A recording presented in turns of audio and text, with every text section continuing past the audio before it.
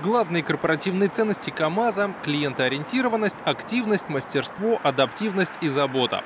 Хранители корпоративного кода – это люди, которые своим примером демонстрируют приверженность этим ценностям. Двумя такими представителями стали ученик и учитель, работающие на кузнечном заводе.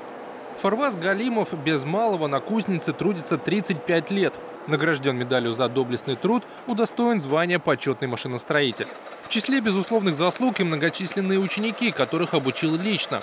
Кто-то продолжает работать на заводе, некоторые ушли. Но как бы ни складывалась карьера его подопечных, он гордится своей работой, поскольку отдается ей полностью.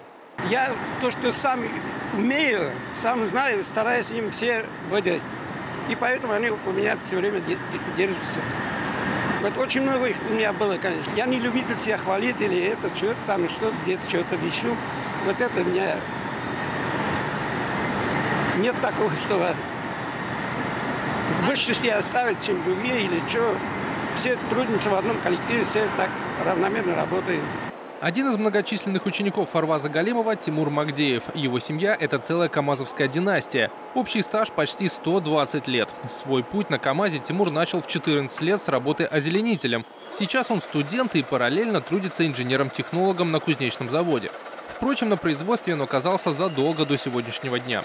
Еще во время учебы в колледже проходил практику в качестве токаря и обучал его азам профессии именно Фарваз Галимов.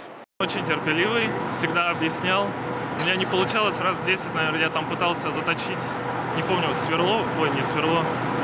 Я уже не помню, честно говоря, что я там пытался заточить, но пытался, пытался, ничего не получалось. Я вообще в шоке, как он все это терпел.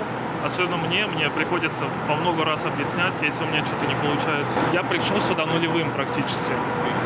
То есть колледж, да, дал знания, но практики ведь не было там. Там только теория. А здесь уже, да, тут Фарваз Зайнулович многому научил уже.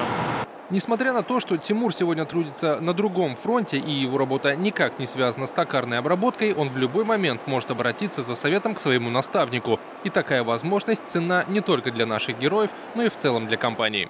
Константин Величко, Олег Гроськов. Вести КамАЗа.